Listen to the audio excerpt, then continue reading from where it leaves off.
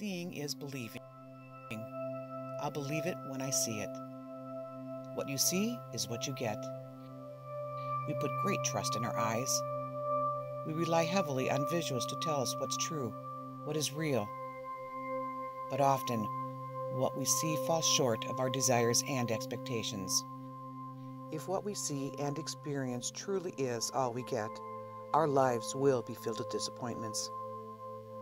Faith is being sure of things you don't yet see because of a person you know and trust. Believing in a person is superior to believing in circumstances improving. As situations ebb and flow with ups and downs, a trustworthy person remains steady and unchanging.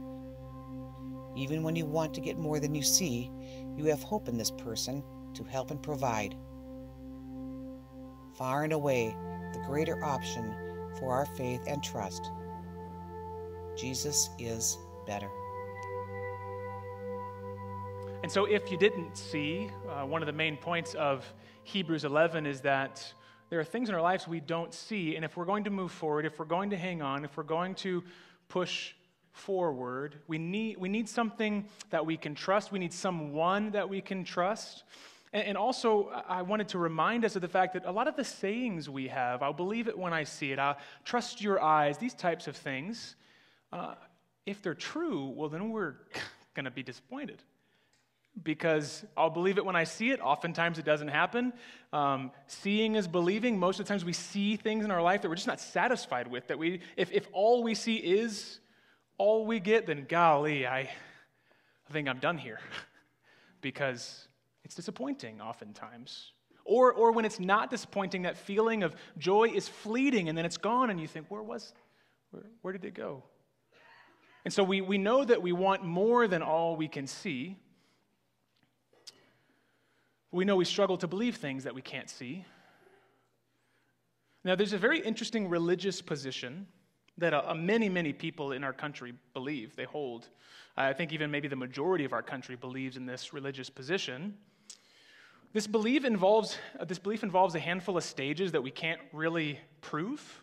Followers tend to not be able to totally explain, but they still trust that this religious view is true. Uh, it's a faith based claim that has a lot of different aspects that followers kind of admit they, they don't fully understand, but they still have confidence in. It's very interesting.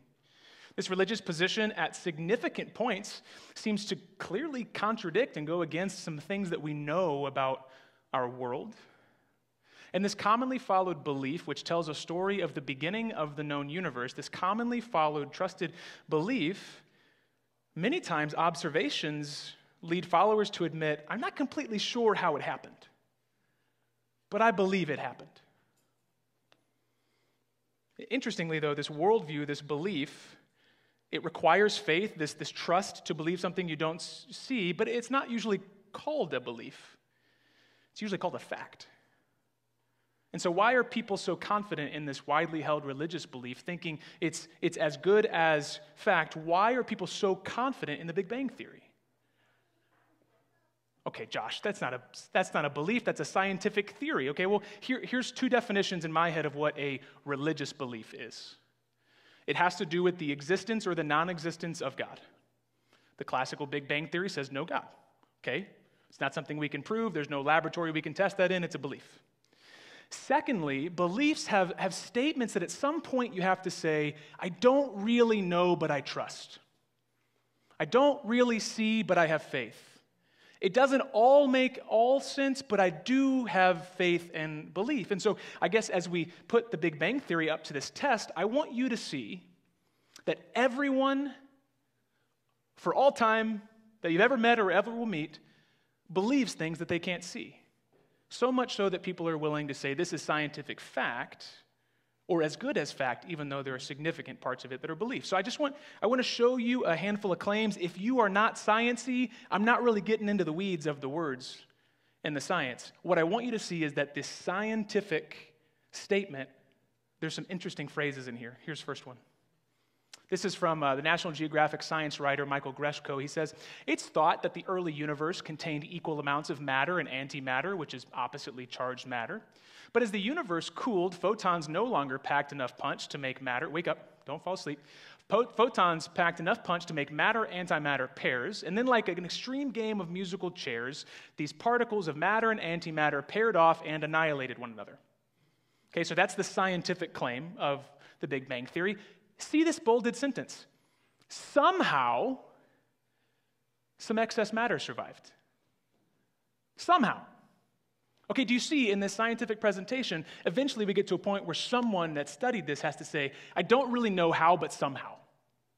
One more. Let's go one more. This one's from an astrophysicist, so way smarter than a pastor.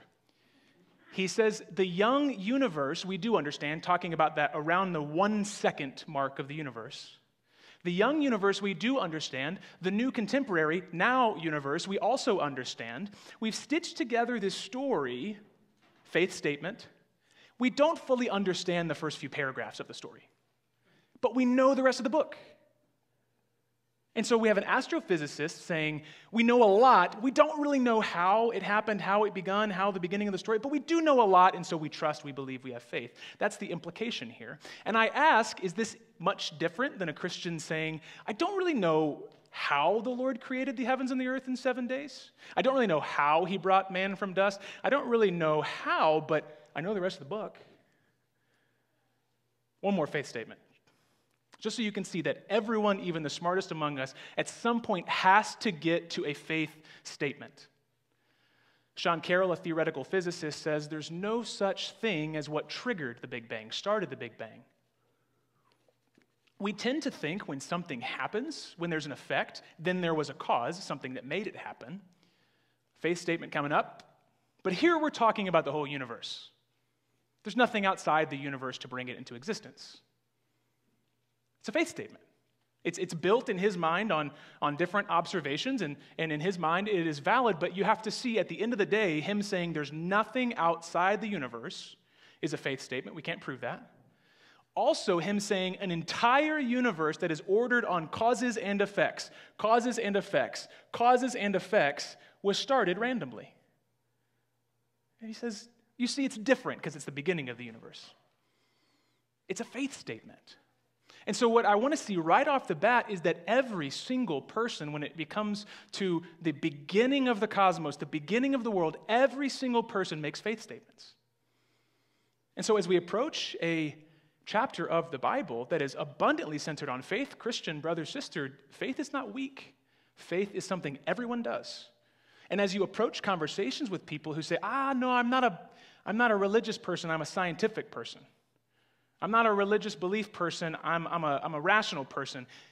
Show them. All of us are religious people. You've just chosen a different one. And so, four points today as we get into our text. One, everyone believes things they can't see. Everyone. Two, everyone is trusting their lives, their lives' decisions, to beliefs which they can't see or prove.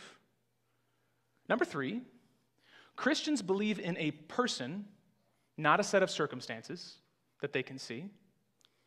Number four, this person is trustworthy, even when you don't see. So, rapid fire one more time. Everyone believes things they can't see. Everyone is trusting their lives to beliefs they can't see. Christians believe in a person, not circumstances they see, and this person is trustworthy, even when you do not see. So, let's read our text today and pray. Three simple, beautiful verses from Hebrews 11, 1 through 3. Now, faith is the assurance of things hoped for, the conviction of things not seen. For by faith the people of old received their commendation. By faith we understand that the universe was created by the word of God, so that what is seen was not made out of things that are visible. Pray with me.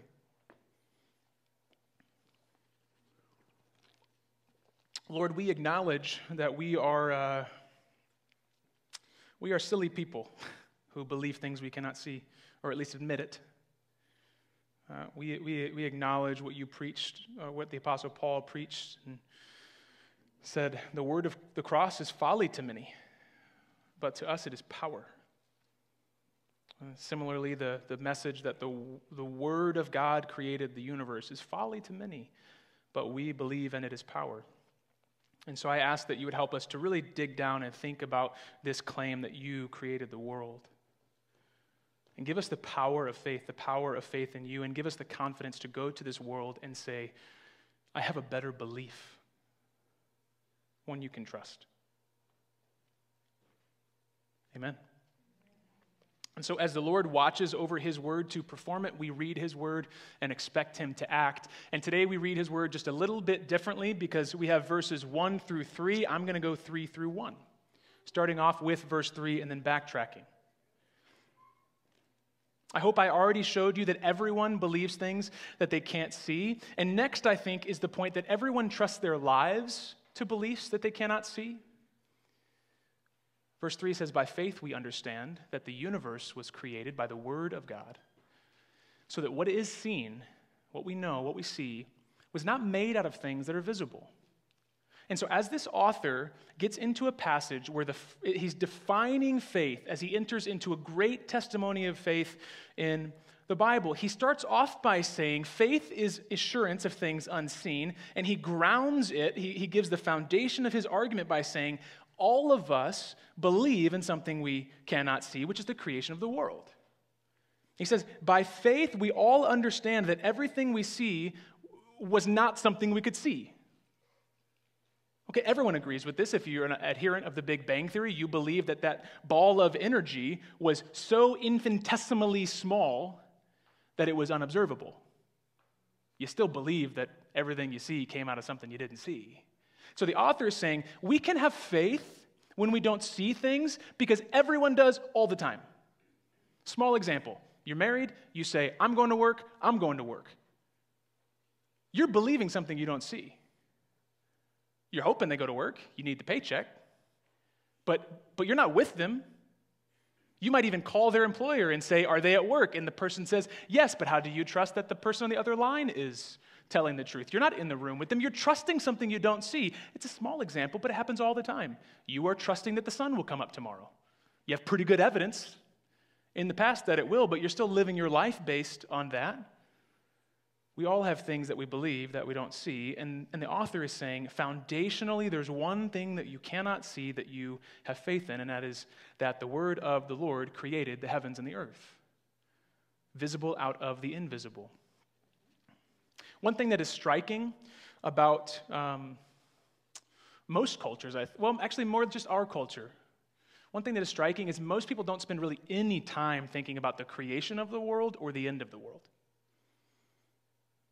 I mean, how many times do you go out with a friend and they're like, I was thinking about the creation of the world the other day and its purposes, the meaning behind it, who did it, how, and why? Or would you, would you want to talk to me about death today? Because I'm really thinking if we really nailed down what happens when you die, we could get a better idea of how to live. But the reality is, is that why and how we were created, and then when and how and why we die and what comes next, those things drive everything in between. We don't think about them. So, how does that work? How does that work? Well, I'll give you a couple examples of, of origin stories and destiny stories, and we'll just see how they drive our life. So, one answer would be no one created the world, it's always existed. It spontaneously emerged. There's no why. This is most of the Big Bang Theory. There's really no why. There's a lot of how, but there's really no why. We're merely matter. We got created, there was matter, antimatter pairs, and then somehow there was matter left over. When you die, corpse rots, that's it, no destination for your soul. Well, you can imagine that that would really drive your decision making. There's no purpose for why I'm here, and there's no achievable goal for later on, so just do whatever you want. Just, just be at the whim of pleasure and passion and whatever's coming your way. Follow the wave for a couple years and then reset and follow the wave again. Moral choices, eh, I mean, you, you have some sort of compass inside of you, but no one can tell you what to do because there's no purpose or destiny. So that obviously changes how you live. Another answer would be probably where most Americans fit, which is God, there is a God. He created the world. It makes the most sense that there's a God. But he kind of created the world and then stepped back. He, he's more the divine clockmaker. He, he ordered the gears in the clock, hung the clock on the wall, but he doesn't really have to do anything with the clock now. Maybe if the clock breaks, he'll fix it. But he's not intimately involved, which means he really just wants to make sure your clock's working. Just, just don't break the clock. Don't, don't do anything really bad. Don't hurt yourself or others. Otherwise, kind of follow that compass. You'll get to heaven, and then heaven is a nice vacation where you don't get fat when you eat a lot. So just He's not really intimately involved, so do what you feel is right. A final answer would be of an origin and a destiny that drive our decision making would be that a perfectly loving, powerful God intentionally created the world. And He created it not just so that humans could enjoy themselves, but so that they could enjoy Him and actually, they won't find enjoyment unless they find it chiefly in Him, that all other pleasures will be fleeting unless they find it in Him. And this would, would radically change how we live our lives because that means that this Lord who says you should spend your life trying to understand me, we would actually do that. And then God says, when you die, you will be judged based on whether or not you cared to understand Him. Man, that's going to change some of your decision making.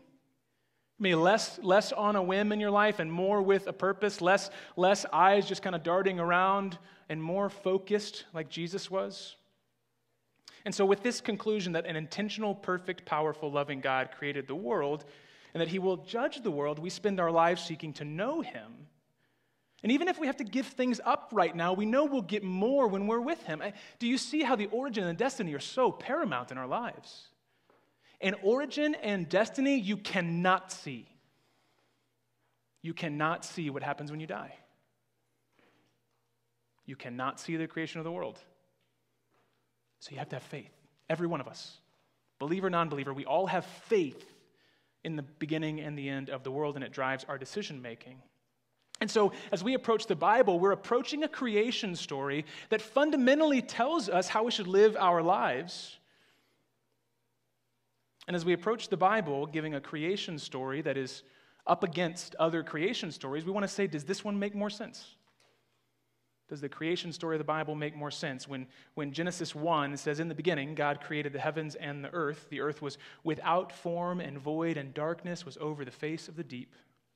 The Spirit of God was hovering over the face of the waters, and God said, Let there be light, and there was light, because when God says, He accomplishes. And God saw that the light was good, and He separated light from darkness. God called the light day, and the darkness He called night, and there was evening, and there was morning the first day. This passage takes faith. I wasn't there. You weren't there. And it's kind of a crazy story. There was a self existing God who was always there, and He spoke, and the world was created. And so, how do we know this isn't fiction? How do we know that this actually is a, is a creation story worthy of our trust? How do we know when we see Psalm 33, verses 6 and 9, by the word of the Lord? This matches up with Genesis 1, that's a good start. By the word of the Lord, the speech of the Lord, the heavens were made, and by the breath of his mouth, all their hosts. For he spoke, and it came to be. He commanded, and it stood firm.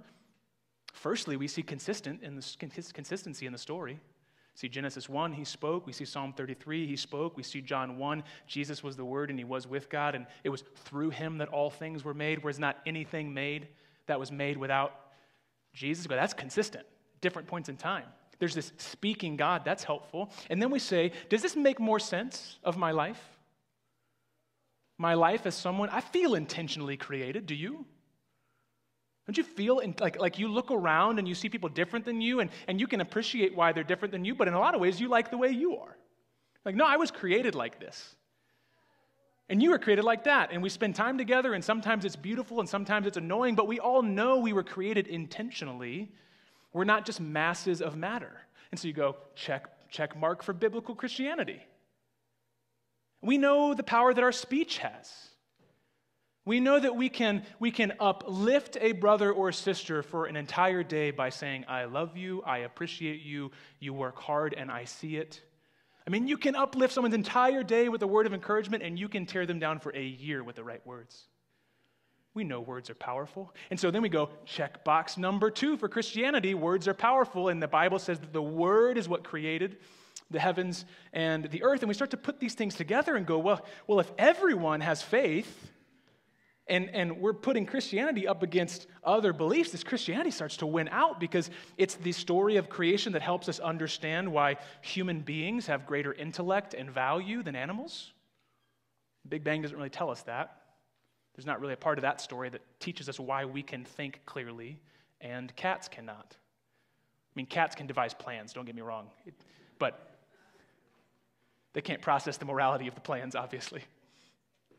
God's story of creation makes sense because it's one of the very few that didn't come out of chaos. I mean, if you look at most of the Greek myths, they had these warring gods in war and then out of war birthed power that birthed the universe. And you go, that doesn't make any sense. But in the Bible, you have a intentional creator, and you go, Well, I like to create. I like to fix. I like to tinker. I like to do projects. I like to draw. And oh, that makes sense because I'm like my maker. Okay, checkbox number three God's story of creation makes sense because in, in other stories, you don't really know where sin happens and why. If, if everything is just natural and has always been, how do you make sense of the fact that there, that there's suffering in your life? Is that meaningless? Well, you're just matter. So don't cry. Your tears are just matter. Doesn't matter. No, the Bible says, oh, you were created for perfection, and you so often see imperfection and sorrow because you have fallen. Checkbox number four for Christianity. And so we compare this creation account and we say, if I've got to have faith in something, I want to have faith in the story of the Bible. It speaks to my soul. And we're just talking about creation, brothers and sisters. We haven't even got to the Creator. And so we have faith, we know we must have faith, and we say, I am fine with the faith in the scriptures. And then when someone comes up to us and says, I'm more of a scientist or a rational thinker, we say, You still have to have faith. Can I offer you a better one? By faith, we believe that the word of the Lord created the heavens so that what is seen was made out of that which is not visible. And by faith, point one and point two, by faith, we drive a lot of how we live our lives. If the Lord of heaven and earth spoke his word over the earth and it was created, we should probably spend some time learning his word and let it drive our lives. Point number three is that, that we don't have faith in circumstances as Christians, we have faith in a person. Backtracking from verse 3 to verse 2, we see, For by faith the people of old received their commendation. By faith, the old people, uh, people of old received their commendation. People of old, our fathers in the faith, Abraham, Isaac, Jacob, the people that came before us, the, the people who we got our faith from. That's actually what the entire chapter is going to be about is the people of old. Story after story of how Abraham received his commendation, how Isaac and how Noah and how Sarah received their commendation. So you, you would want to know what a commendation is. We don't really use that word, but we use one very, very similar, which is the word recommendation, a recommendation. So when someone asks for a letter of recommendation, you write a letter of approval. In fact, if you're not going to write approving, you should probably just say, I, I can't do that for you. Because if you write a letter of recommendation, it should be a letter of approval saying, I approve this person. It is my witness, my testimony that this person is fit for the job, that you should hire them. And, and so this scripture is saying the people of old received something, and it was a letter of approval saying, This one should receive. This one should receive. Abraham, you should receive. And what did they receive? Eternal salvation. For by faith, the people of, of, of, of, old stood before the Lord, and he said, Well pleasing, well pleasing, well pleasing, you have my commendation. And so, what we know, we know so intuitively that we spend most of our lives seeking the approval of people. So much of your life is trying to approve, be approved of. You want people to see you as a good mom, people to see you as a hard worker, you want people to see you as wise. You definitely come into this building and you want to be seen as a good Christian. It's one of the weakest points of our walk as, as Christians is that we're just kind of unwilling to answer the question, How are you honestly in this building because we don't want to be the Christian that's not doing well. We want approval. We don't want to be the Christian that admits we haven't cracked our Bible open in a month, so if someone asks us, we'll just say something we learned last month. I want to be approved of. I want to be approved of right now. I want your commendation. And I have to fight tooth and nail to not preach for your commendation because all of us are seeking the approval of a person. And the Bible is saying, seek the approval of one person. Do everything in your life to seek the approval of one person, and his name is Jesus. And to seek that approval, to get that approval, to finally stand with Jesus and him to say, I'm pleased with you, it's faith. It's faith because the Bible is clear you can't work it up yourself. None of you are going to stand before the Lord and He's going to go, You had the most faith in Downtown Mission Church. You did it. All those other cronies had less faith than you. I'm so proud of you for the faith you mustered up. You did it by yourself, didn't even need my help. Also, none of you are going to stand before the Lord and Him say, If you just had more faith. I mean, I know you liked me, I know you believed in me, but you just didn't have enough faith. There were some weak points in your life where you doubted. You just didn't have enough faith. No, none of us are going to stand before the Lord with, with our righteousness measured by our amount of faith. We're going to have our righteousness measured by whether the faith was in Jesus. And so the person with the weakest faith in a strong Savior has the same Savior as the person with a strong faith in a strong Savior because it's about the Savior. That's why Jesus says a mustard seed, if you've got that much. If you've got enough in your life when you are laying on the floor, crippled spiritually, to even reach out your hand to touch his garment, you are his because of him. That's how you get your commendation is faith. And this faith is in a person, not in circumstances. We so often want, want to think that we can fix the problem, we can fix the circumstance, we can drive our own lives. And then we fail, and the response is, we should do better, we should fix this problem, we should drive our own lives. And then we fail, and we say, okay, I can fix it this time, I've learned a lot, I can fix my. And then Jesus saying, come to me. You are weary, and you have proved that your way does not work. Have faith in me. And, and, and get that final approval that you have so longed for. Our faith is in a person, and it's not us. Faith is in a person. This leads us up to verse 1. Now, faith is the assurance of things hoped for, the conviction of things not seen. The assurance of things hoped for, the conviction of things not seen. See how strong these words are? Assurance, conviction, Many of you went to a voting booth a few months ago and you voted on convictions, and you did not feel weak when you did so. You might have said, I don't know which one to go with, but you probably did not say, I don't know what my convictions are. We have these strong convictions that drive our lives, and the Bible is saying faith is strong. Faith is a conviction. Faith is assurance. This word, this is astounding. This word for assurance, the Greek hypostasis, is used also in Hebrews chapter 1. Love the sound of the Bible. Hebrews chapter 1, verse 3 Jesus is the radiance of the glory of God and the exact imprint of the Father's hypostasis, his nature, his substance. Faith is not weak, it is not shallow. Faith is substance because Jesus is substance. It is, it is not by happenstance that the author uses the same words for Jesus being the substance in front of us of the Father and saying you can have assurance because it's in Jesus and his substance, not in your own substance. Jesus is substantial. Colossians says all of the other forms of your religion, they're passing away, they're old, but Jesus Christ is the substance. And so we see these strong words for faith, brothers and sisters. Let us not let anyone tell us faith is a weak enterprise. Faith gives us assurance. Faith gives us conviction. Why? Because it's not in how full our gas tank of faith is, it's in how steady and faithful Jesus is. And so you can be sure because Jesus is sure. You can be steady because Jesus is steady. All of us have faith in something, but the Christian says, I have faith in one who is unchanging. The point here is faith can be sure when a person is sure. Faith can be steady when a person is steady. Faith can be reliable when a person is reliable. And any of you with a good manager at work know this. You know you can go into work with a manager that has your interests. You know you can go into work having a job. You know you can go into work being consulted before changes are made.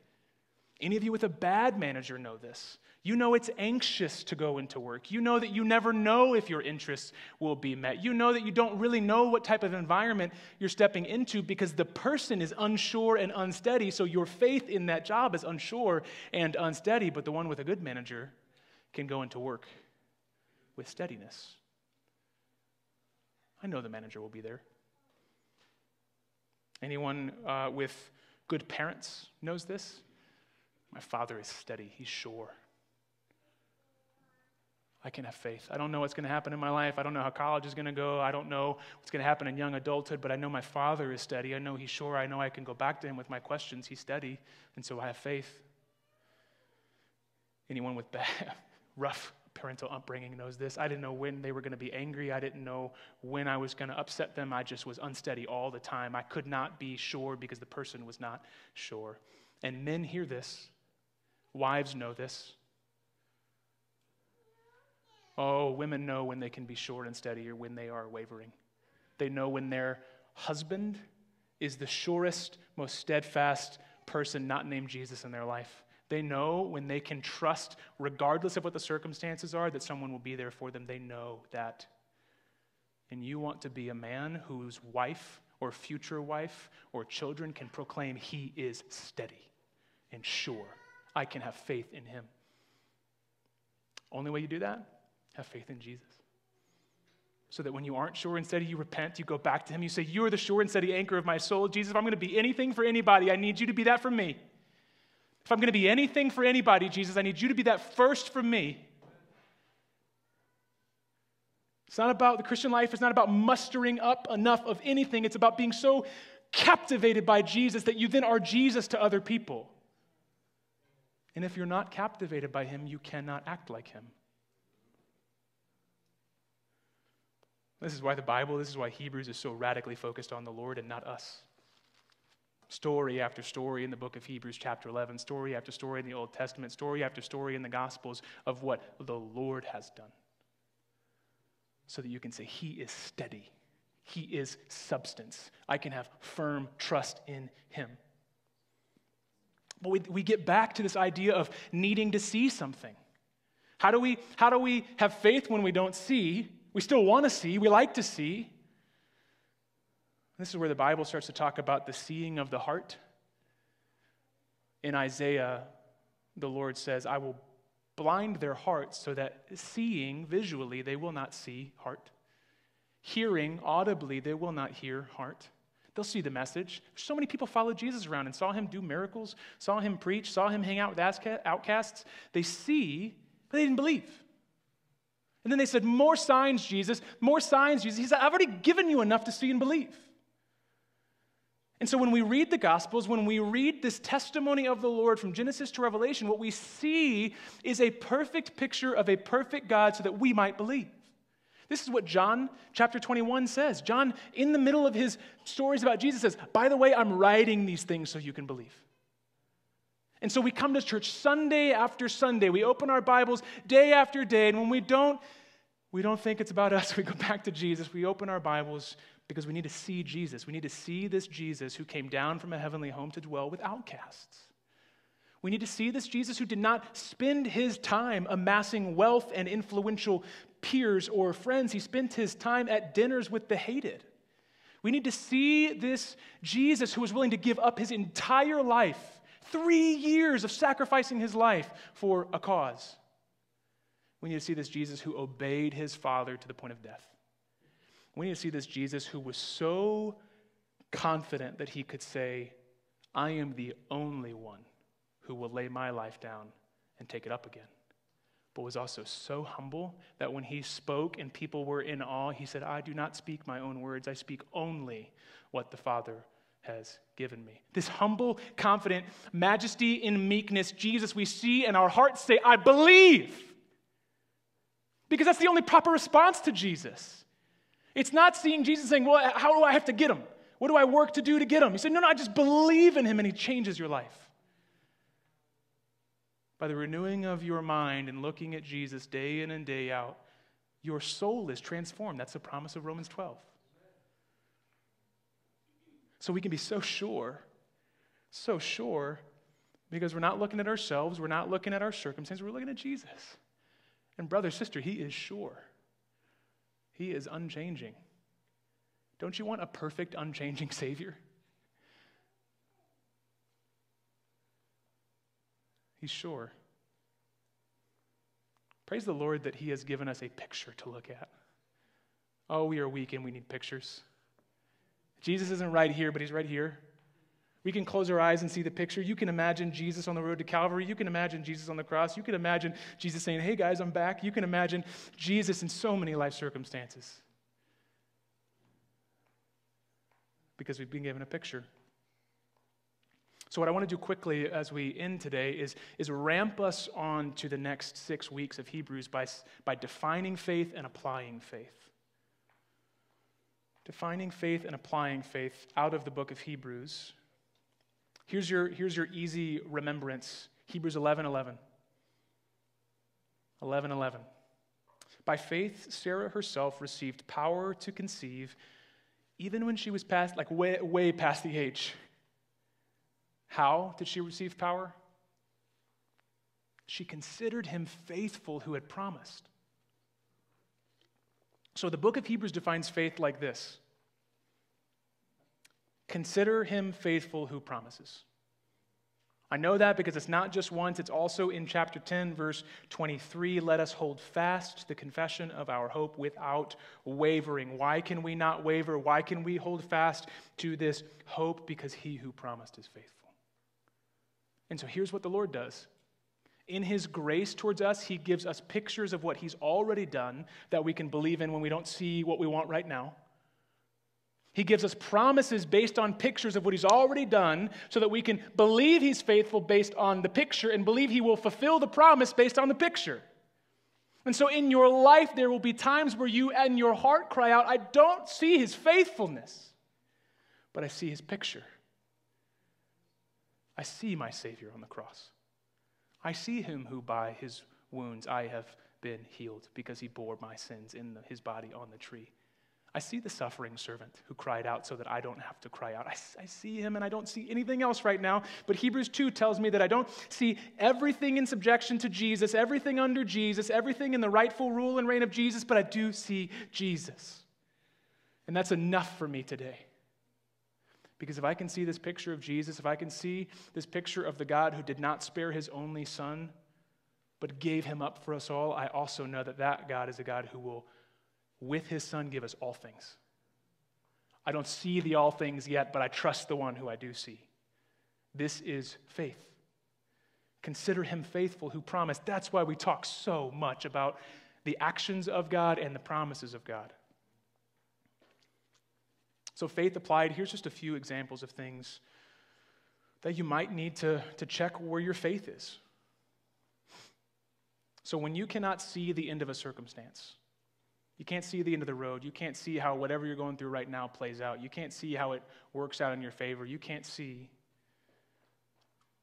Do, do, you, do you lift your eyes off of the life around you and onto the person of Jesus? And you, and you, yes, lament. You, yes, cry out. You say, This is hard. But I'm looking at Jesus while I'm crying out, This is hard. I'm not just looking around me going, This is never going to fix. This is never going to get better. This is saying, Jesus, I, I, I honestly don't see your faithfulness right now, but I do see you. And I ask that you would help me. Do you do what Habakkuk did? We talked about Habakkuk last week, and at the end of his book, after crying out to the Lord that the Lord would come back and, and subdue his enemies, he says, You know what? When there's no fruit on the vine, when my body is torn, when there's no olives, when everything has failed me, Yet I will rejoice in the God of my salvation. Because my rejoicing was always in the salvation. Everything else is a beautiful benefit. We rejoice in the salvation of God, and our family is a cool addition. We rejoice in the salvation of God, and our property is a cool addition. We rejoice in the salvation of God, and having a job with purpose is a cool addition, but we always are rejoicing in the salvation.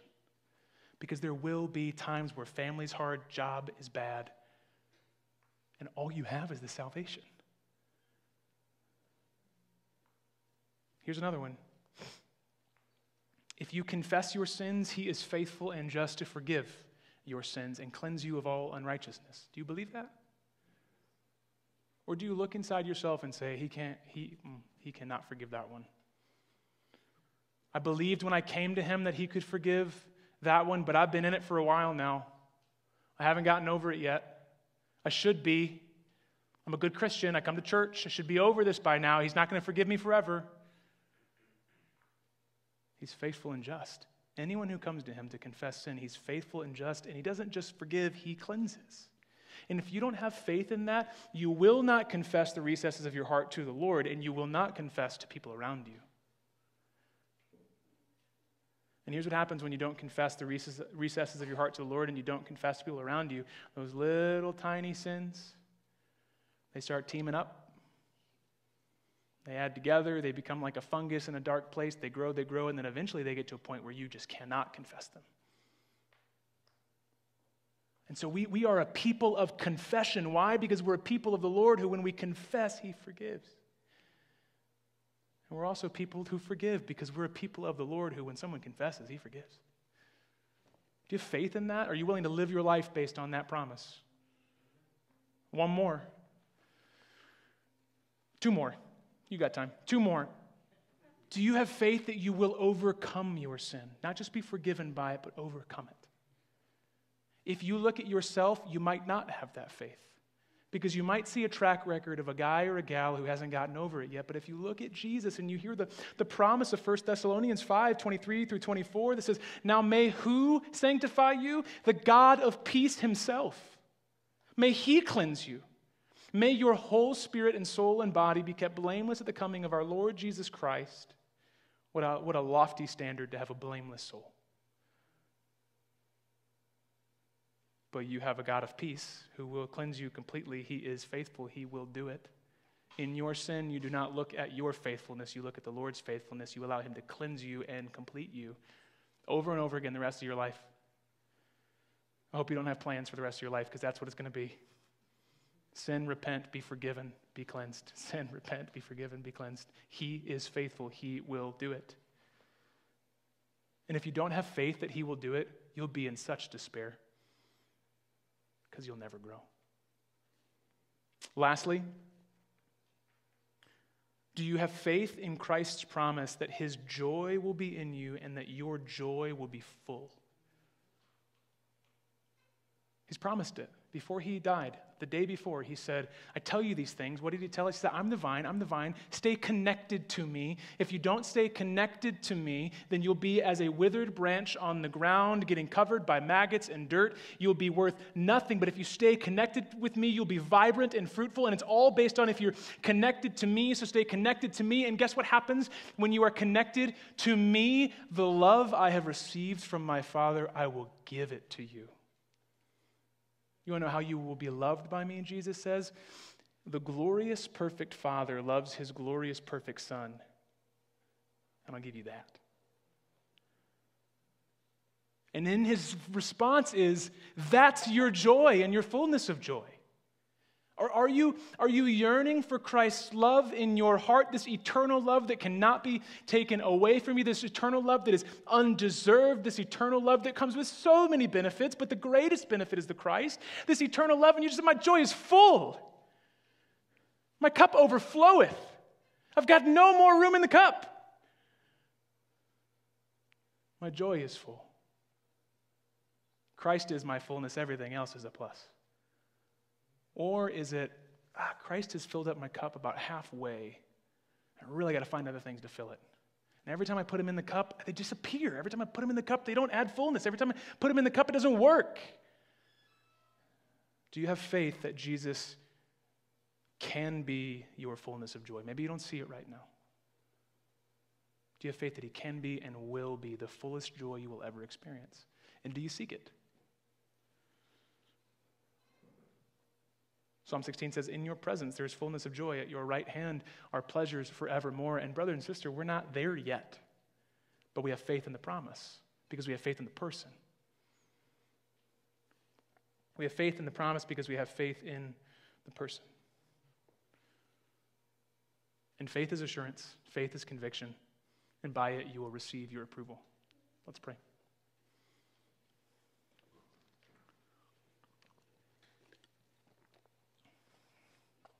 Lord Jesus, I, I thank you and praise you for being so so captivating that we can spend Sunday after Sunday after Sunday speaking of you and it just doesn't get boring. You can hold our attention in a way that no other thing in this world can because we were made for you. That's the creation story. You made us for you. And, and, and the deepest struggles in our life is when we don't seek after you, when we have these holes in our life and these sins in our life because we, we're not doing what we're made for. And so, Jesus, by faith, we understand that you created us. By faith, we understand you saved us and restored us. And by faith, we understand that you're coming back. And by faith, we understand these great promises that you will cleanse us, you will be with us, you will love us as your Father has loved you, you will be our joy. Sometimes we don't see it, Lord, but we do see you. Cause our hearts to worship you in this moment. Amen.